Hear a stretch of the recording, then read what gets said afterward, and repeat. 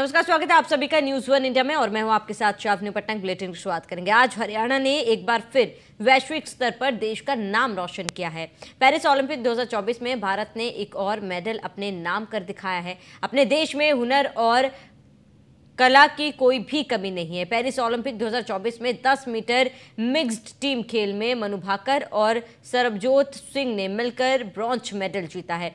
मनु भाकर और सरबजोत सिंह ने अपने आज के इस मैच में दक्षिण कोरिया के लिए वोन्हो और ओहो ये जिन को मात दी है, मनु भाकर ने इसी इवेंट के सिंगल्स इवेंट में ब्रॉन्ज जीता है। मनु भाकर ओलंपिक 2024 में दो मेडल जीतने वाली पहली भारतीय वुमेन बनी है और हरियाणा के खिलाड़ियों के इस अच्छे प्रदर्शन पर मुख्यमंत्री नायब सिंह सैनी ने भी बधाई थी हरियाणा के मुख्यमंत्री नायब सिंह सैनी ने निशानेबाज मनु भाकर और सरबजोत सिंह द्वारा 10 metre air pistol mixed team स्पर्धा में कांस्य पदक जीतने पर कहा। कि मैं सरबजोत सिंह और मनु भाकर को बधाई देना चाहूँगा। उन्होंने कांस्य पदक जीतकर भारत का तिरंगा ऊँचा करने का काम किया। हमारी सरकार खिलाड़ियों के लिए, उत्साहवर्धन के लिए लगातार तैयार है। हम खिलाड़ियों को आगे बढ़ाने के लिए लगातार उनका सहयोग करते रहते हैं। कांस्य पदक जीतकर खिलाड़ियों ने न केवल हरियाणा, बल्कि देश का नाम रोशन किया। मैं उन्हें बधाई देता हूँ। आगामी खेलों में भी हमारे खिलाड़ी बहुत अच्छा प्रदर्शन कर रहे हैं। हमें पूरा विश्वास है। और पदक आएँगे। बताते कि मिश्रित टीम 10 मीटर एयर पिस्टल स्पर्धा के क्वालिफिकेशन राउंड में एक टीम के प्रत्येक सदस्य को 30 मिनट की समय अवधि में कुल 30 शॉट लगाने थे। शॉट्स की प्रत्येक श्रृंखला में प्रति खिलाड़ी 10 शॉट और कुल मिलाकर 20 शॉट होते हैं। शीर्ष चार टीमों को पदक राउंड के लिए क्वालिफाई करने का सौभाग्य मिला। शीर्ष दो टीमें स्वर्ण के लिए खेल रही थी और तीसरी और चौथे स्थान पर रहने वाली टीमें कांस्य के लिए आमने सामने थी। मनु सरबजोत एक अंकों के साथ छठे स्थान पर रहे, जिसमें मनु का अठानवे अंक और सरबजोत को पिचानवे अंक मिले थे। अपनी दूसरी श्रृंखला में मनु और सरबजोत ने कुल एक सौ तिरानवे अंक हासिल किए, जिसमें मनु को अठानवे और सरबजोत को सतानवे अंक मिले। अपनी तीसरी श्रृंखला में मनु सरबजोत ने एक सौ बानवे अंक हासिल किए, जिसमें मनु को तिरानवे अंक और सरबजोत को सतानवे अंक मिले हैं।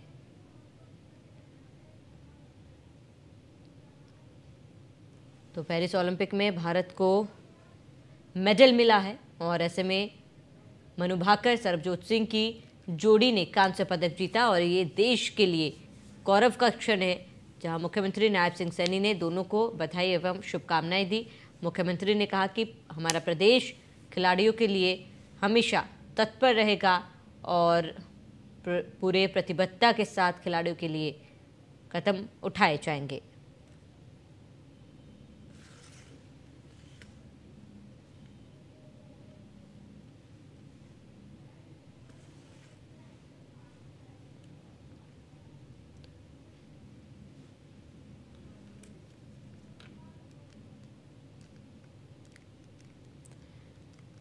पेरिस ओलंपिक में भारत को दूसरा मेडल मिला है और मनु भाकर, सरबजोत सिंह की जोड़ी ने कांस्य पदक जीता।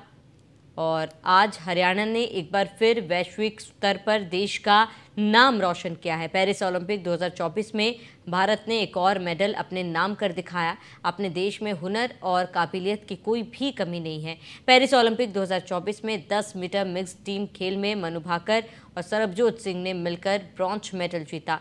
मनु भाकर और सरबजोत सिंह ने अपने आज से के इस मैच में दक्षिण कोरिया के लिए वनहो और ओह ये जिन को मात दी है, मनु भाकर ने इसी इवेंट के सिंगल्स इवेंट में ब्रॉन्ज जीता था। मनु भाकर ओलंपिक 2024 में मेडल जीतने वाली पहली भारतीय बन गई है। हरियाणा के खिलाड़ियों के इस अच्छे प्रदर्शन पर मुख्यमंत्री नायब सिंह सैनी ने भी बधाई दी। हरियाणा के मुख्यमंत्री नायब सिंह सैनी ने निशानेबाज मनु भाकर और सरबजोत सिंह द्वारा 10 metre air pistol mix team स्पर्धा में कांस्य पदक जीतने पर कहा, मैं सरबजोत सिंह और मनु भाकर को बधाई देना चाहूँगा। उन्होंने कांस्य पदक जीतकर भारत का तिरंगा ऊँचा करने का काम किया है। हमारी सरकार खिलाड़ियों के उत्साहवर्धन के लिए लगातार तैयार है। हम खिलाड़ियों को आगे बढ़ाने के लिए लगातार उनका सहयोग करते रहेंगे।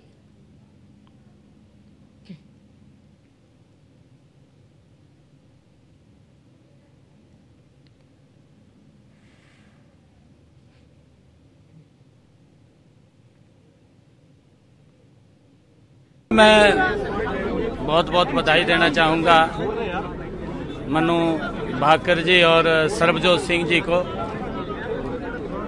जिन्होंने कांस्य पदक जीत करके भारत के तिरंगे को ऊँचा करने का काम किया है। मैं खिलाड़ियों को बहुत बहुत बधाई और शुभकामनाएँ देता हूँ। हमारी सरकार खिलाड़ियों के उत्साहवर्धन के लिए लगातार तत्पर तैयार है और खिलाड़ियों को मज़बूत और आगे बढ़ाने के लिए सरकार ने विभिन्न प्रकार से खिलाड़ियों का सहयोग वो निरंतर करती रहती है। मैं आज जो कांस्य पदक जीत करके हमारे खिलाड़ी ने हमारे हरियाणा का तो नाम ऊँचा किया ही है, परंतु हरियाणा के साथ साथ पूरे देश का नाम भी ऊँचा किया है। मैं सभी खिलाड़ियों को बहुत बहुत बधाई देता हूँ। आने वाला जो और गेम चल रहे हैं उस गेम के अंदर भी हमारे खिलाड़ी और अच्छा प्रदर्शन वो दिखाएँगे और मेडल लेकर के आएँगे। मैं सभी खिलाड़ियों को बहुत बहुत बधाई और शुभकामनाएँ देता हूँ। कि हमारे खेल नीति 2014 के बाद देश के अंदर हरियाणा हमारा आगे आकर के आता है। मैं सभी हरियाणा के खिलाड़ियों को और देश के खिलाड़ियों को बहुत बहुत बधाई और शुभ